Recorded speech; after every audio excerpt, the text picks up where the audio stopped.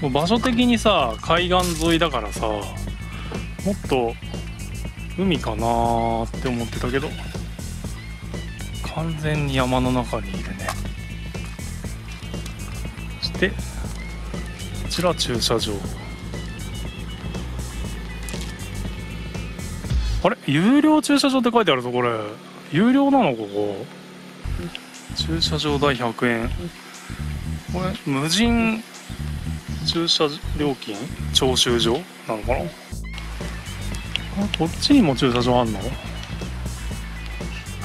どっから入るんだろうね。あこっちにも駐車場あんだ。駐車場2つあるんだ。あそうなんだ。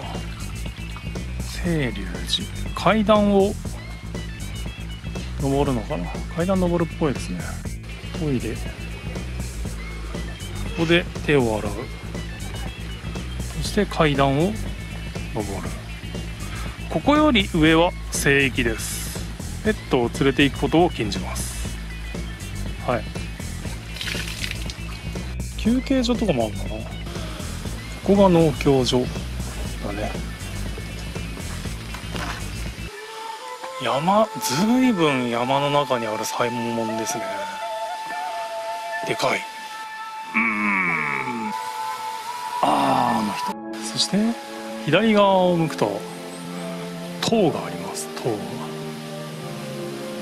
かっこいいな。あ雨が。ああこれはまた立派な階段ですな。お地蔵さんがあるね。水子供養の水子地蔵尊ですね。こっちはあ晴天堂。ガネーシャ様がいらっしゃいますねここは。ああ着いた。山の上にある。立派なお堂ですね。本堂があります。隣に大師堂がありますね。そしてお地蔵さんがいっぱい並んでるな。こっちは？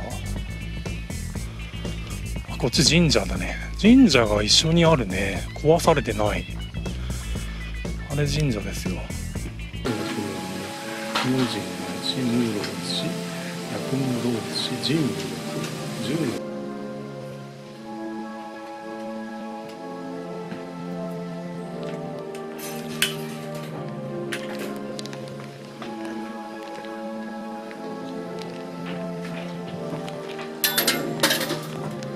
境内では塩をまかないでください。でか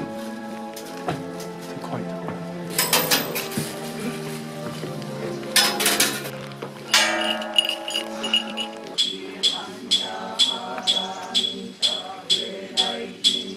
ギャティギャティハラギャティハーラソーギャティボジソウカアニャ神教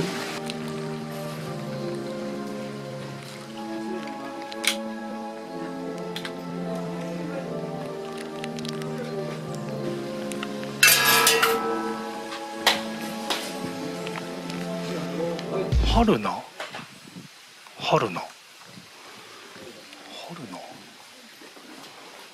春菜ってなんか意味あるのかな？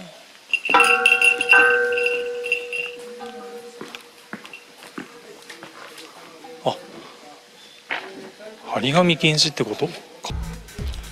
以上36番札所の昇龍寺でした。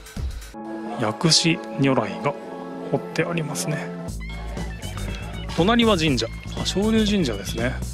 雨降ったばっかりだから。すごい滑るんだよな。そうそう苔が生えててさ。すごい滑る。お。お願いします探しています。昇龍寺の包丁なんてあるんだね。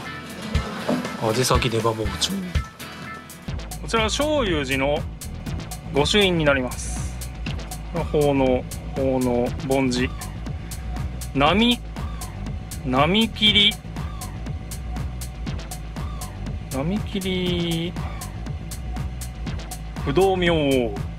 不動明王ですね。並切不動明王って書いてあります。で青い昇龍寺昇龍寺ですね。以上です。